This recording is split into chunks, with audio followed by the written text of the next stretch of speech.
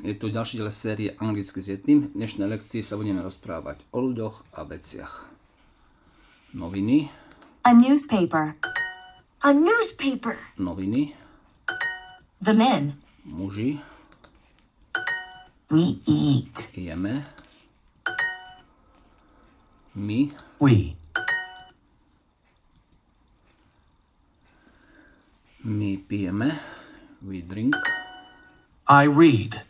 Ja čítam, The men read the newspaper.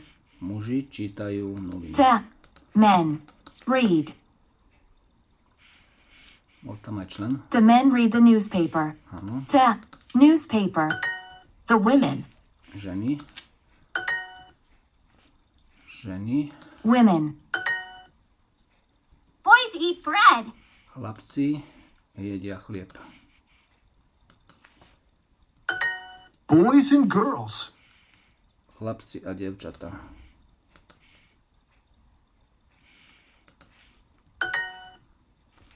Chlapec, Boy. voda, Water. chlieb, Bread. ona, She. čítať, read. Tí ženy pijú vodu.